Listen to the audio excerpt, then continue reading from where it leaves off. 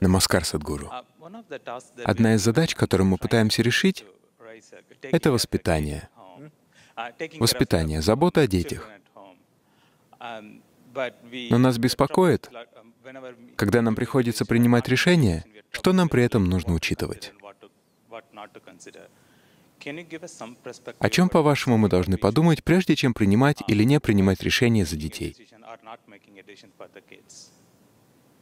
Почему вы принимаете все решения за них? В этом-то и проблема. Я знаю, что не мне принимать решения. Но все же это необходимо делать или нет? Что мне делать, когда требуются какие-то действия?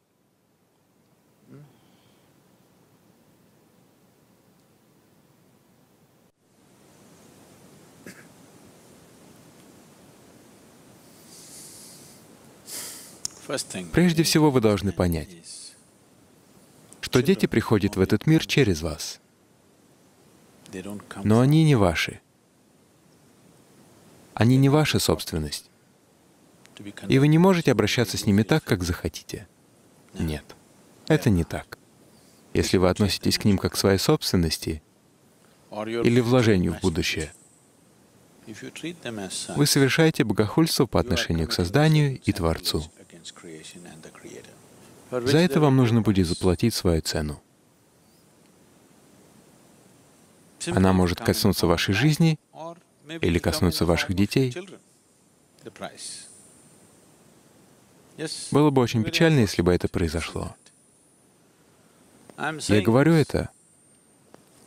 Очень жестоко говорить это родителям. Но я говорю это, потому что быть родителем ребенка — это жестоко. Ребенку это не нужно. Но самыми различными способами вы делаете все, чтобы он оставался так или иначе зависим от вас.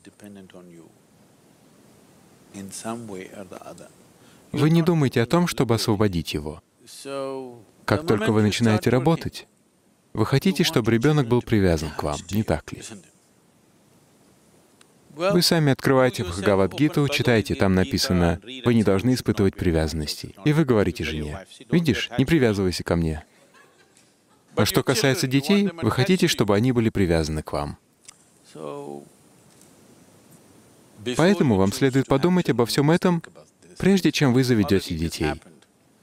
Но если это уже случилось, тогда вам пора задуматься об этом по-настоящему серьезно. Во-первых, Хотите ли вы произвести на свет кого-то немного лучше вас? Разве это не важно? Если у вас рождается ребенок, он должен быть хотя бы немного лучше вас, не так ли? Если же все просто повторяется, тогда какой в этом смысл?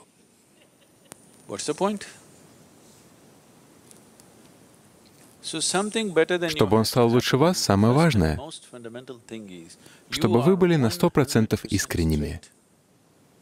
Даже если вам будет неловко от этого. Быть на сто процентов искренними очень важно.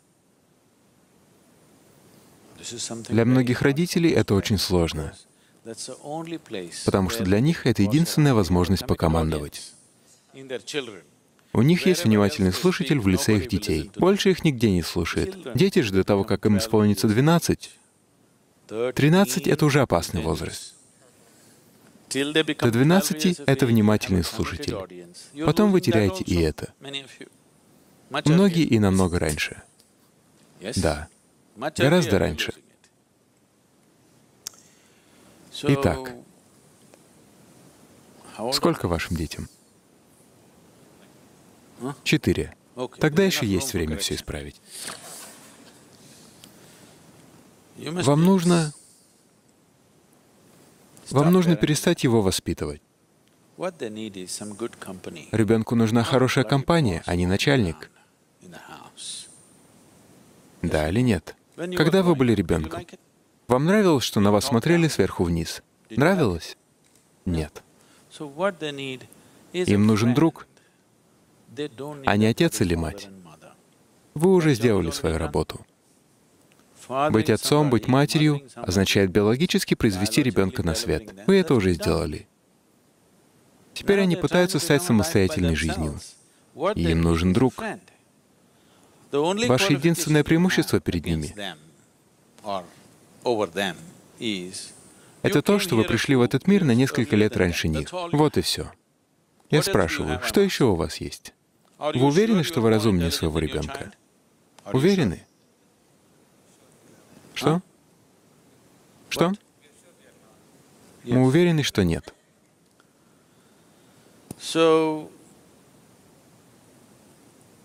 Прежде всего, вы должны понять, что вы просто пришли в этот мир на несколько лет раньше них. Все, что вы сделали, оказались здесь на несколько лет раньше. Кроме этого, у вас нет никаких преимуществ перед ними, которые бы позволяли вам говорить им, что делать и чего не делать. Да или нет? С другой стороны, если вы не будете говорить им, что делать, он идет на улицы других, не лучших советников. Вам нужно оберегать их от этого. Но в этом случае вам нужно обладать смелостью воспитывать их так, чтобы они не принимали советов и от вас.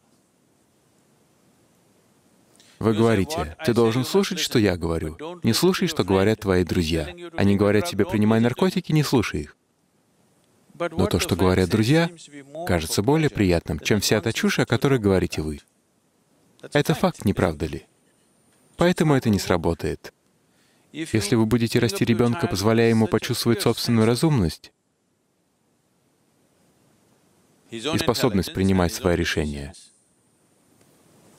вы увидите, что он сам будет искать вашей помощи, потому что осознает, что его ума, его понимания не всегда достаточно. Если же вы будете растить его так, чтобы он слушался ваших советов, в нем проснется бунтарство. Даже если вы будете говорить правильные вещи, он не будет их делать. Он будет делать все наоборот. Большинство родителей через это проходит, не правда ли? Он делает все наоборот, просто чтобы почувствовать свою независимость, потому что он не знает, что значит быть независимым. Так что четыре года — это неплохо. Вы можете начать относиться к нему как к еще одному человеку а не как к ребенку, своему ребенку. Он не ваш, уверяю вас. Вы всего лишь предоставили генетический материал для создания тела. Вы не способны создать жизнь. Не льстите себе. Вы не способны создать жизнь. Вы только предоставили некий материал. Генетический материал для создания тела. Да? Но вы и об этом не думали. Они появились в результате ваших компульсивных желаний. Да? Необходимо понимать, что ребенок — это не ваше творение. То, что он пришел в этот мир через вас, — это привилегия. Наслаждайтесь ею, дорожите ею, уважайте ее. Не злоупотребляйте данной вам привилегии. Это очень важно. Почему людей воспитывают? Вы должны расти как человек, не так ли? Дело в том, что большинство людей никогда не создают атмосферу, благоприятную для роста. Их воспитывают такими, какими их хотят видеть, а не такими, какими они должны быть, как живые существа. Если вы не вбиваете им в голову всякую ерунду, они обладают огромной наблюдательностью, что, естественно, порождает миллионы вопросов. Отвечайте на столько вопросов, сколько сможете, по мере своих знаний. Если вы чего-то не знаете, просто скажите им, «Я не знаю». Я пришел в этот мир на несколько лет раньше тебя, но это не означает, что я все знаю. Признайтесь в этом своим детям. В чем проблема? Да? Вы думаете, что если они не умеют читать, вам не обязательно быть искренними в своих словах? Думаете, они этого не замечают? Если вы думаете, что не замечают, я хочу, чтобы вы знали, что когда им исполнится 10, 12, 13 лет, если у них будут какие-то проблемы, они придут не к вам, они пойдут к своим друзьям. Почему? Потому что чувствуют, что те более искренни, чем вы. Только поэтому. Да или нет? Вы ведете себя так, как будто сошли с небес. Никто не захочет слушать вас, если только вы не совсем промыли мозги к 10-12 годам. Они не будут вас слушать. Ни одно разумное существо не станет слушать этот бред. Да или нет? Если только вас так не воспитали. Так что обращайтесь с этой привилегией разумно, с уважением. Не злоупотребляйте ею. Просто оберегайте их от дурного влияния. Остальное предоставьте им самим. Если вы думаете, что они обязательно собьются с пути, значит, вы судите по себе. Вы так уверены по поводу себя. Мой ребенок обязательно ошибется. Просто защищайте их. Защищайте их от плохого влияния. Но в то же время они должны быть свободны и от вашего влияния. Ведь ваше влияние тоже плохое. Если вы покажете детям, что то, чем вы занимаетесь, действительно важно, и вы готовы посвятить этому свою жизнь, почему бы вашим детям не захотят сделать то же самое? Если вы не продемонстрируете свою преданность делу, если вы не покажете своей вовлеченности и при этом ожидаете, что они станут чудесными людьми, нет, этого не случится. И они не будут слушать ваши росказни. Они наблюдают за вами и за тем, что вы делаете, не так ли? Поэтому, если вы хотите хорошо воспитать ребенка, пожалуйста, воспитайте себя. Не волнуйтесь о детях. Станьте чудесным человеком, и это отразится на них. Ошибиться тут невозможно. Но и гарантий тоже нет. Как и во всем в жизни, гарантий нет, потому что возможны другие, более сильные влияния с улицы, не так ли? Не так ли?